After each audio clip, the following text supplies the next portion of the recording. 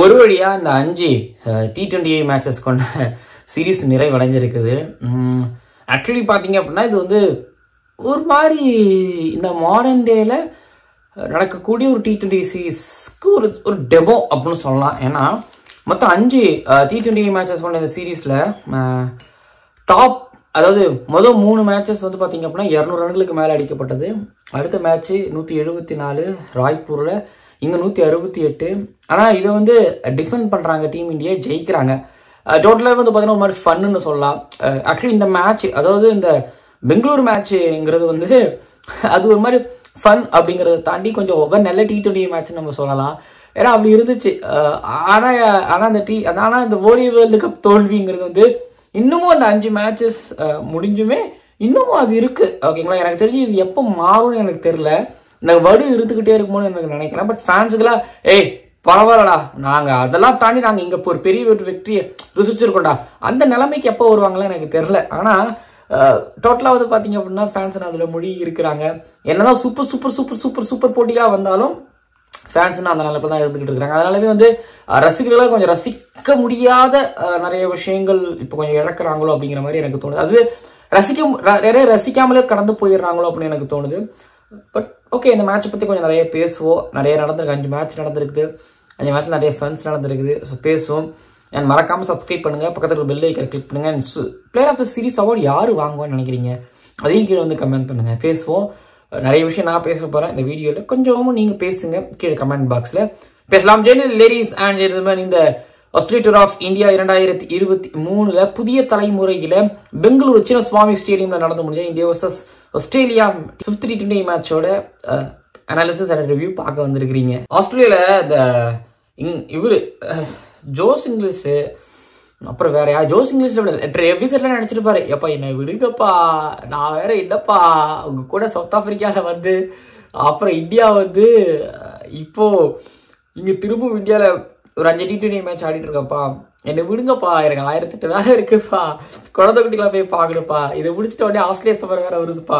அப்படின்னு அவர் சொல்லுவார். ஏன்னா ஒரு பெரிய டூரு வேர்ல்டு கப்பு அதுக்கு முன்னாடி சவுத் ஆஃப்ரிக்கா சீரீஸு எப்போ எப்போ எப்போ எப்பா அதுக்கு இடையில காயம் அதுக்கப்புறம் எக்கச்சக்கமான பெர்ஃபார்மன்ஸ் ஒரு மாதிரி முடிஞ்சிருக்கு ஒரு மாதிரி தான் முடிஞ்சிருக்கு. சீரிஸ் இந்த சீரிஸ் எடுத்து பார்த்தீங்கன்னா ஜோஸ் இங்கிலீஷ் ஒரு ஹண்ட்ரடு ருட்ராஜ் கிகோத் ஒரு ஹண்ட்ரடு மெஹண்ட்ராஃப் கன்சிஸ்டண்டா பவுல் பண்ணிட்டே இருந்திருக்காரு Ravi பிஷ்ணோயும் each and every first ball wicket எடுத்துக்கிட்டே இருந்தாரு. அக்சர் பட்டேல் ஆல்ரவுண்டிங் பர்ஃபார்மன்ஸ் பார்க்க முடிஞ்சது. எஸ்பெஷலி லாஸ்ட் மேட்ச் நான் சொல்ல தேவையில்லை. அதுக்கப்புறம் ஸ்கையோட கேப்டன்ஸ் இந்த பவுலிங் ரொட்டேஷன் சூப்பராக இருந்தது. மேக்டிவேட் ஓரளவு இந்த தடவை ஃபைட் பண்ணாரு. மெக்டர்மரோட ஒரு ஃபிஃப்டி அண்ட் தென் வந்து பார்த்தீங்கன்னா ட்ரெவிஸரோட அங்கங்கே சில இம்பாக்ட் பார்க்க முடிஞ்சது.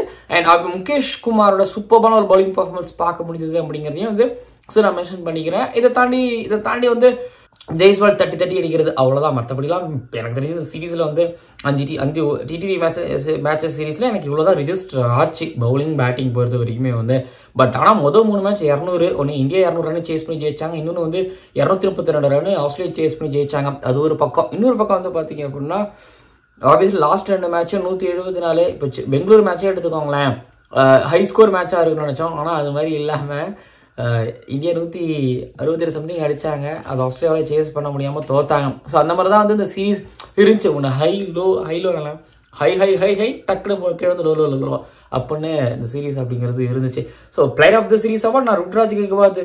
யோசிக்கும் பொழுது விஷ்ணு யோசிக்கும் பொழுது அக்சர் பட்டேல் கொடுக்கல நினைக்கிறேன். ஏன்னா ஒரு போன மேட்ச் கொஞ்சம் நல்லா ப்ளே பண்ணார். பேட்டிங்கும் பவுலிங் ரெண்டு மேட்ச்ல ஒரு நல்லா கான்ட்ரிபியூட் பண்ணியிருக்காரு ப்ளஸ் எயிட்டிங் நல்லா பவுலிங் பண்ணிட்டு வந்துட்டு இருக்காரு. ஒரு மேட்சுக்கு மேட்ச் ஒரு விக்கெட் ரெண்டு விக்கெட் எடுத்துக்கிறாருங்கிறதுனால நான் அவரை பிக் பண்ணுவேன். நீங்க என்ன நினைக்கிறீங்க அப்படிங்கிறதையும் சுக்கீடு வந்து கமெண்ட் பண்ணுங்க. ஸோ ஆக்சுவலி இந்த மேட்சை பொறுத்த வரைக்கும் என்ன சொல்றது? ஒரு மாதிரி சம்பிரதாய போட்டி. ஒரு பக்கம் ஆண்டிகால நடந்த England versus West Indies ODI match பார்த்துக்கிட்டு இருந்தேன். இந்த பக்கம் இந்த மேட்ச் பார்த்துக்கிட்டு இருந்தேன். அதுலேயுமே ஆல்மோஸ்ட் ஒரு மாதிரி ஒரு மாதிரி ஏறி திரும்பி இறங்கி இறங்கி இறங்கி இங்கிலாந்து அது நடந்துகிட்டு இருக்குது. பட் இந்த மேட்ச் எடுத்துக்கிட்டீங்க அப்படின்னா ஸ்கையும் சொன்னார் நாங்கள் வந்து பவுலிங் பண்ண தான் விரும்பியிருப்போம் அப்படிங்கிற மாதிரி அவரும் சொன்னார். ஆக்சுவலி சொன்ன மாதிரியே அது மேத்யூவை டாஸ் வின் பண்ணி பவுலிங் எடுத்தார். ஆனால் பதினு கிடைச்சிட்டு இப்பயும் ஜெய்ஸ்வால் அந்த ஸ்டார்ட் ஸோ எனக்கு தெரிஞ்சு ஜெய்ஸ்வாலோட விக்கெட் ருட்ராஜ் கிக்கோட விக்கெட் ருட்ராஜ் ஜெய்ஸ்வாலுக்கு ட்ராப் பண்ணுறாங்க ஆக்சுவலி அவருக்கு வந்து பார்த்தீங்க அப்படின்னா இதுக்கு இது இது தொடரும். லெஃப்ட் ஹேண்டர் அவருக்கு எக்ஸ் அவருக்கு வந்து extra deep ex extra cover அதுக்கப்புறம் கவர் இதெல்லாம் எடுத்து கவர் பண்ணிட்டாங்கனாலே அவரை வந்து ட்ராப் பண்ணுறாங்க அவர் பேக் ஃபுட்டில் இல்லை அவுட் ஆஃப் பால் போட வச்சு அவர் ட்ராப் பண்ண ட்ரை பண்ணுறாங்க இல்லை திடீர்னு ஒரு எகிரு பால் ஒன்று போட வைக்கிறாங்க. அவரை புல்லாட்ட ட்ரை பண்ண வச்சு அவுட் எடுக்கிறாங்க. இன்னொரு பக்கம் வந்து பார்த்தீங்க அப்படின்னா disappointment Ruturaj Gaikwad. Okay one failure அதுக்கப்புறம் வந்து பார்த்தீங்கன்னா சூரியகுமார் யாதவ் நீ செஞ்சாங்க சூப்பராக செஞ்சாங்க செம்மையாக ஃபில் செட் பண்ணி எடுத்தாங்க. இன்டு தி பாடி மேக்ஸிமம் போடல. ஏற்று ஏற்று ஏற்று ஏத்துன்னு சர்க்கு சர்க்கு ஏற்றுனாங்க ஆஃப் சைடில் மாட்டினாரு. நல்லா இருந்துச்சு. அவர் எடுத்த ஒரு ஒரு விக்கெட் அப்படிங்கிறது நல்லா இருந்துச்சு. அதுக்கப்புறம் ரின்கு சிங்க்கும் மாதிரி ஸ்லோயர் ரன்ஸ் போட்டார். பெகன் ஆஃப் நிறைய ஸ்லோயர் ரன்ஸ் மிக்ஸ் பண்ணி மிக்ஸ் பண்ணி போட்டார். அதில் தான் வந்து ஜெய்ஸ்வால் அடித்தாலும் அவுட் ஆனார். ஆமாம் பெஹன் ராஃபை கொஞ்சம் அடித்தாங்க பார்க்கும்போது பெஹன் ராஃப் வந்து பேச கம்மி பண்ணி போட்டே இருந்தார். அதில் மாட்டுவாங்க மாட்டுவாங்க மாட்டுவாங்கன்னு. ஆனால் மாட்டலை ஆனால் மாட்டினார். கரெக்டாக வந்து பார்த்தீங்கன்னா ஜெய்ஸ்வால் பெஹன்ட்ராஃப் எடுத்தார். ஸோ நல்லா இருந்துச்சு. முப்பது முப்பது அடிச்சுட்டு அவுட் ஆகிறாரு. இந்த பெஹன்ட்ராஃப் அவர் எடுத்த விதம் அப்படிங்கிறது நல்லா இருந்துச்சு. அண்ட் இதை தாண்டி வந்து பார்த்தீங்க அப்படின்னா ஸ்ரேயஸரோட பேட்டிங் சி ஒருத்தவங்க நின்னே ஆகணும். இது ருட்ராஜ் கேக்வாத் ஆட வேண்டிய கேம் ருட்ராஜ் கேக்வாத் இது வரைக்கும் ஆடினார். நீங்கள் ஆடல. பட் ஸ்ரேயஸ் ஐயர் வந்தாரு. நீங்கள் நிற்கிறோம் நிற்கிறோம் நிற்கிறோம் ஸோ நின்னாரு. அண்ட் எனக்கு தெரிஞ்சு ஒரு ஒரு அப்லிஃப்ட் ஷாட் ஒன்று ஆஃப் சைடில் அடிச்சார். அது மட்டும் தான் மற்றபடி வந்து பார்த்தீங்க அப்படின்னா அக்சர் பட்டேலோட ஒரு பேட்டிங் கான்ட்ரிபியூஷன் ரென்கு சிங் கொஞ்சம் வந்தது ஜித்தேஷ் சர்மா ஸோ அந்த ஃபீர்னஸ் கிரிக்கெட் ஆடுறாங்க. இந்தியா கிட்ட அந்த அந்த கேம் இருக்குது. அதனால தான் நூற்றி எழுபத்தி நூற்றி அறுபத்தெட்டு அப்படிங்கிறது வந்து ஸோ அடிக்க முடியுது. என்னை பொறுத்த வரைக்கும் ஆஸ்திரேலியோட பவுலிங்கில் வந்து தன்வீர் சங்காவும் நிறைய பீட்டுன்னு எடுத்தார். தன்வீர் சங்கா ஆடுறதுக்கு கொஞ்சம் கஷ்டப்பட்டாங்க. பெஹன்ராஃபும் ஸ்லோவன் போட ஆடுறதுக்கு கஷ்டப்பட்டாங்க. பட் நேதன் எலிஸ் தான் கொஞ்சம் உரி உரின்னு உரிச்சிட்டாங்க. அது வேற விஷயம்.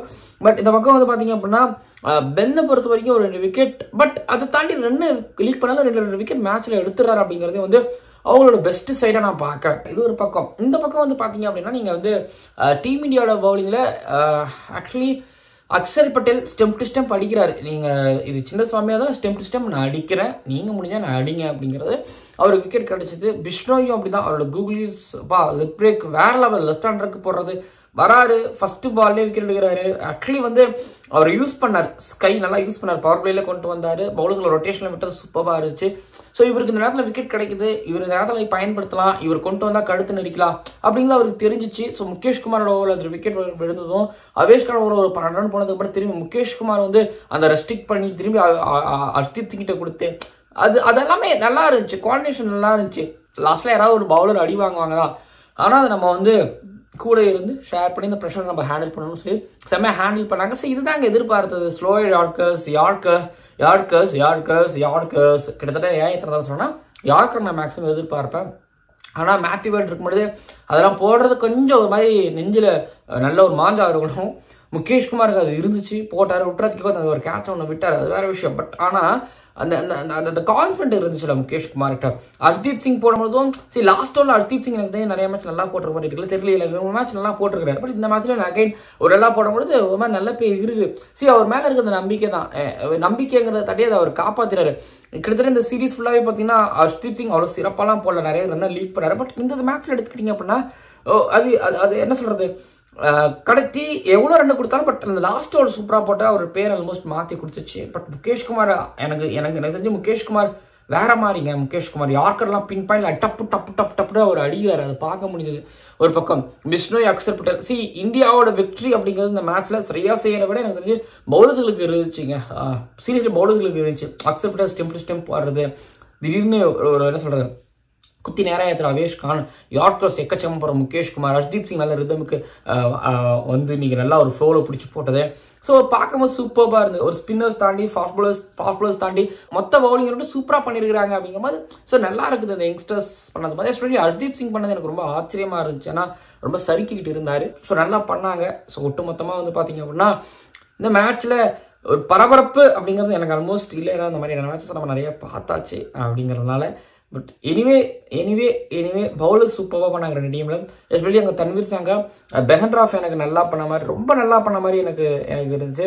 அதுக்கப்புறம் பென்னை பொறுத்த வரைக்கும் அவர் நல்லா பண்ணிட்டு வந்திருக்காங்கிறது நான் நினைக்கிறேன். பட் இந்த பக்கம் டீம் இந்தியாவை பொறுத்த வரைக்கும் பவுலிங் அட்டகாசம். எல்லாருமே நல்லா பவுல் பண்ணாங்க. ஸோ ஓவரால் வந்து இந்த இந்த ரிவ்யூ நிறைவடையுது. பேச பேசுறதுக்கு அலசறதுக்கு இது இல்லை. பட் ஆனால் இந்த சின்ன கிரவுண்டில் இந்த மாதிரியான ஒரு சின்ன ஸ்கோர் நூற்றி அறுபத்தெட்டுங்கிற சின்ன ஸ்கோர் அதை டிஃபெண்ட் பண்ணுறதுக்கே வந்து ஒரு தனி ஸ்கில் வரும் ஸோ பவுலர்களால் தான் அது முடிஞ்சுது. அதனால் பவுலர்களுக்கு பவுலர்களே அக்சர் நல்லா போட்டார். வெறும் பதினாலு ரன் மட்டும் தான் கொடுத்தாரு. பதினாலு ரன் கொடுத்ததுக்காக பிளேயர் ஆஃப் த மேட்ச் அவர் கொடுத்தாங்க. ஸோ ருட்ராஜ் கேக்வாத்துக்கு வாய்ப்பு இருக்கா? நான் already player of the series contender தான் சொல்லியிருந்தேன். அவரை தாண்டி பிஷ்ணோய்க்கு வாய்ப்பு இருக்கா? அக்சருக்கு எனக்கு கொடுக்கலாம். அதுக்கு அவருக்கு ஒரு ஒரு ஒருத்தர் நான் நினைக்கிறேன். ஸோ ஓகேங்களா? அக்ஷர் படேலுக்கு கொடுக்கலாம் அப்படின்னு நான் நினைக்கிறேன். அண்ட் பார்ப்போம் என்ன பண்ணியிருக்காங்கன்னு தெரியல. பட் இந்த சீரிஸ் பொறுத்த வரைக்கும் நான் ஐபிஎல் ஆப்ஷன் அப்படின்னு சொல்லியிருந்தேன் ஆடிஷனும் சொல்லியிருந்தேன். அண்ட் இது வந்து பார்த்தீங்க அப்படின்னா டெஃபினட்டாக டெஃபினட்டாக வந்து டி டுவெண்ட்டி வேர்ல்டு கப்புக்கு இந்தியன் பிளேயர்ஸ் நிறைய பேர் போகிறதுக்கு கொஞ்சம் லைட்டாக ஓப்பன் பண்ணல. ஐ திங்க் ஓப்பன் பண்ணியிருக்கிறேன் நினைக்கிறேன். பிஷ்ணோய் அக்சர் கடைசி நேரத்தில் வந்து இல்லைப்பா அவங்களுக்கு இன்ஜுரி அவங்களோட வருண் சக்கரவர்த்தி நல்லா போட்டுருக்கிறது சகல் எடுக்கிறாரு அப்படின்னு சொல்லி அந்த மாதிரியான முடிவுக்கெல்லாம் போக மாட்டாங்க. நான் பிலீவ் பண்ணுறேன் பட் பார்க்கலாம். என்னோட ரிவ்யூ இதோட நிறைவடையுது. அண்ட் அடுத்தது டெய்லி வராமலாம் இல்லை வருவேன். வேறு சில வீடியோக்களில் உங்களை சந்திக்கிறேன். ஸோ மறக்காம சப்ஸ்கிரைப் பண்ணுங்கள் பக்கத்தில் பெல் ஐக்கன் கிளிக் பண்ணி பார்க்கலாம். அடுத்தடுத்த வீடியோக்குள்ளே ஓகேங்களா முடிச்சுங்க அஞ்சு மேட்ச் கொஞ்சம் டி டுவெண்ட்டி சீரீஸ் ஆடி முடிச்சு கலைச்சி ஆஸ்திரேலியன்ஸ் போக போகிறாங்க இப்போது இந்தியா வந்து அடுத்தது மூவ் ஆன் ஆகிறாங்க. சவுத் ஆஃப்ரிக்கா பார்ப்போம் என்ன நடக்குன்னு சொல்லிட்டு.